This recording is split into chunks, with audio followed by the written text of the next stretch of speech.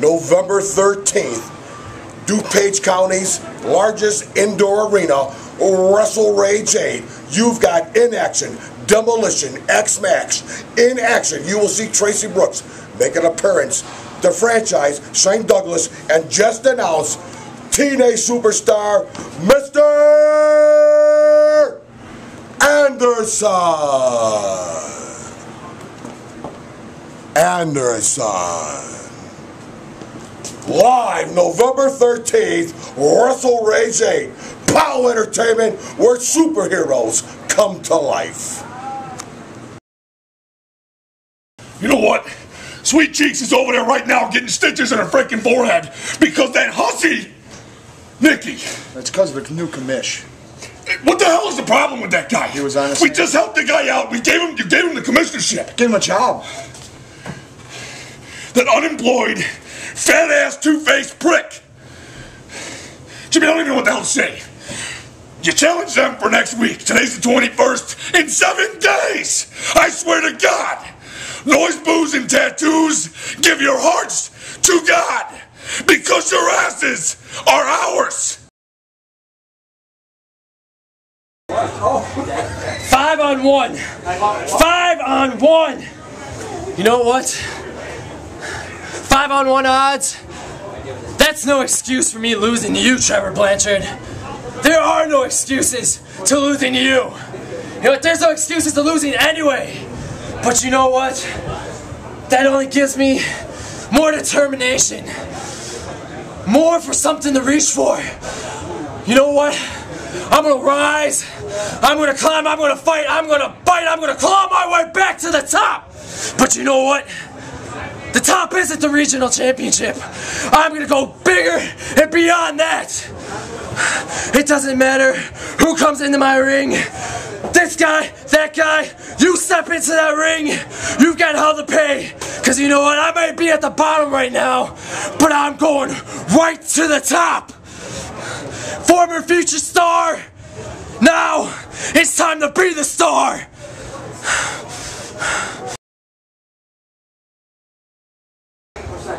Did it.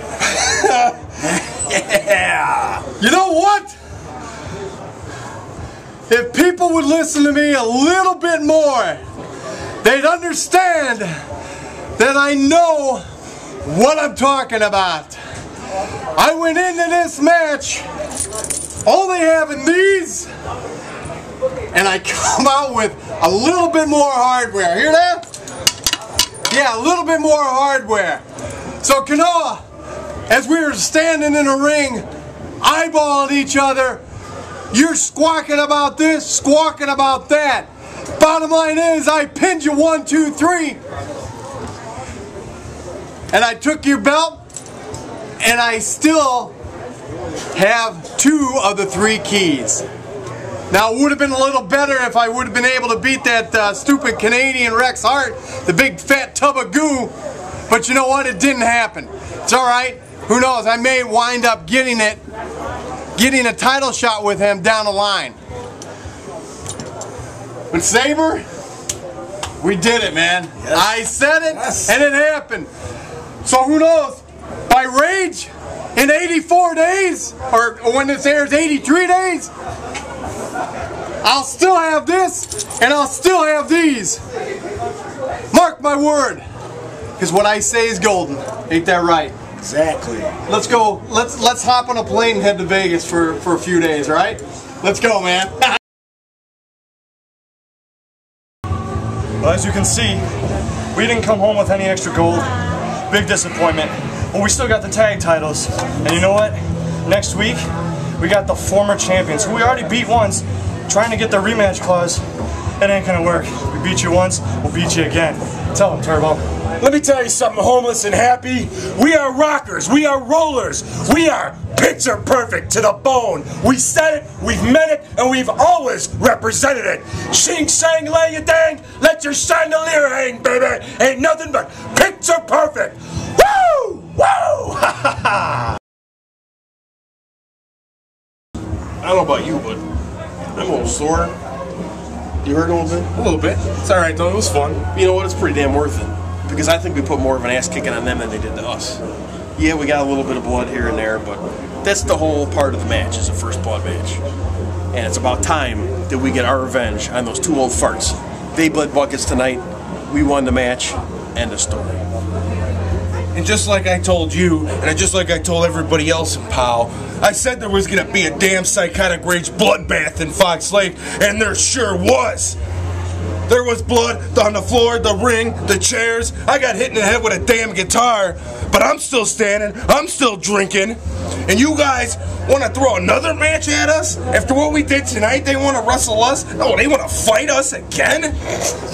Hey, that's fine with me. That's fine with him. No problem. Nikki? All I have to say is that um, that little kiss that I gave you with that chair tonight, sweet cheeks, that was just a taste of what I'm gonna do to you next weekend.